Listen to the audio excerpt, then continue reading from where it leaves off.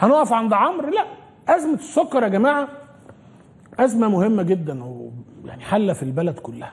ده الناس بتنكت لما يقولوا إزاي يقولوا زي السكر في الشاي. أو دلوقتي بيقولوا إزاي مش عارف.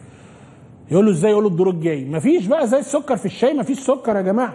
فيدخل الأستاذ خيري رمضان. الاستاذ خيري رمضان بيتكلم عن ارتفاع أسعار السكر والشاي.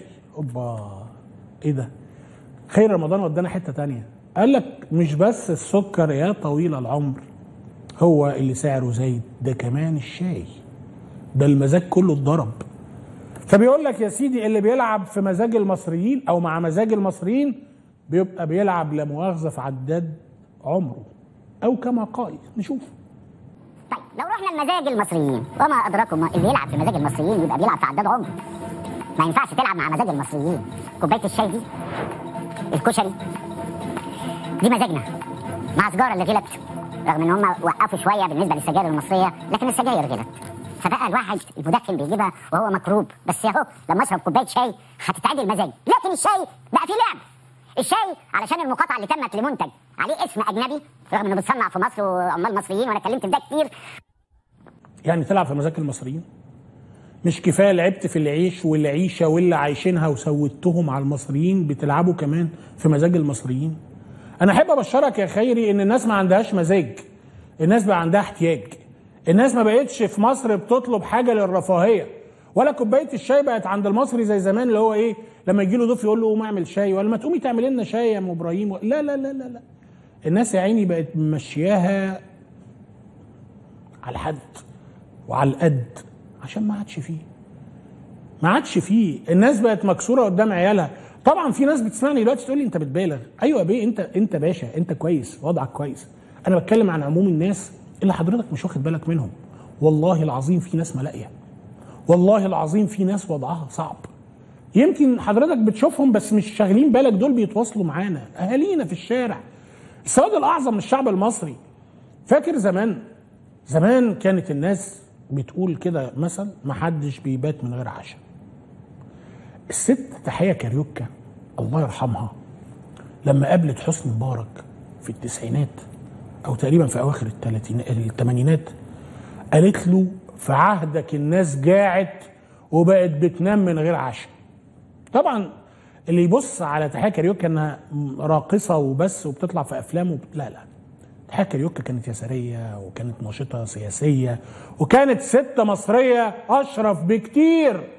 من النخبة السياسية اللي موجودة دلوقتي عمالة تهرتل وتطنطن وتطبل للحاكم الفاشل الظالم اللي يعني فيه كلام كتير قوي على خياناته والأدلة بالهبل. تحية كاريوكا لو عايشة دلوقتي تخيل كانت قالت لعبد الفتاح السيسي إيه. إذا كان مبارك في الثمانينات وبداية التسعينات قالت له الناس في عهدك جاعت وبتبات من غير عشاء. اللحمة كانت ب 3 جنيه ونص.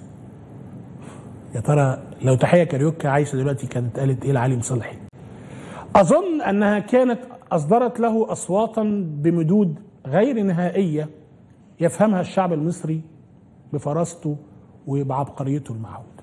طيب نقيب الفلاحين بقى بيطلع هوب يضرب كرسي كرسي في الكلوب عشان يقول لك أنتوا متحاملين على الدولة. أهو مصر على بعد خطوة واحدة من الاكتفاء الذاتي من السكر يعني بسم الله الرحمن الرحيم تاتا خط العتبة الخطوة الجاية هنوصل للاكتفاء الذاتي من, السكر. الكلام ده اللي قاله حسين عبد الرحمن أبو صدام نقيب عام الفلاحين. ها؟ أخدت بالك؟ قال إن مصر على بعد خطوة والله هي خطوة. one foot in the game أهي. هنكتفي من السكر يا جماعة إن شاء الله وهيوصل إنتاجنا من السكر.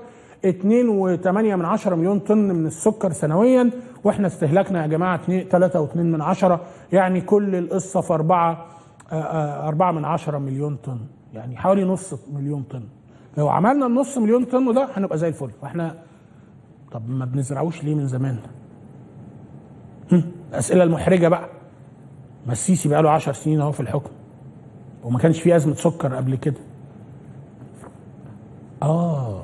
هو أنتوا عايزين تقولوا إن المية اللي نقصت وقلت في موضوع سد النهضة أثرت على زراعة السكر سكر اللي هو قصب السكر في الصعيد والبنجر في شمال مصر في كفر الشيخ والبحيرة والمناطق دي فده بدوره قلل انتاجنا من السكر؟ قصدك كده؟ آه أكيد قصدك كده ملهاش حل تاني. ما هو المفروض إن لما يكون في حكومة بتخطط ووزارة التخطيط تعمل إيه؟ تقول لك وإحنا كنا 70 مليون بنس- بنستهلك كذا السنة الجاية هنبقى 75 مليون فلازم نزود استهلاكنا فلازم نزود المساحه المساحة اللي بتتزرع. منطقي وطبيعي. إنما لما تبقى ماشية كده اديها من عندك يا برنس وهي هتقول فنوصل للي إحنا فيه دلوقتي.